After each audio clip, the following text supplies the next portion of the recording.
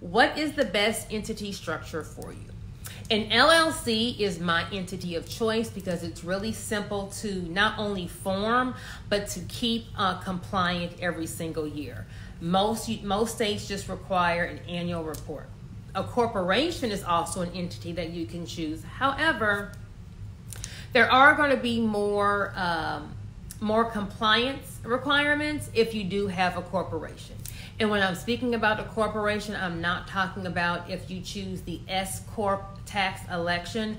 I'm talking about if the letters after your corporate after your business name is Inc. Inc. or incorporated. I'm talking about that corporation. So if you have a corporation, you have to have bylaws.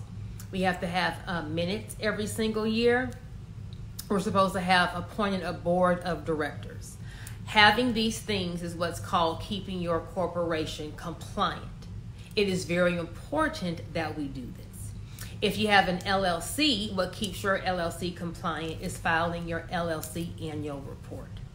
If you have not filed your LLC annual report or you do not have your bylaws, you are not keeping minutes every single year, and you have not um, appointed a board of directors, you need to book a business structure call so I can kind of get you on track as to what you need to do.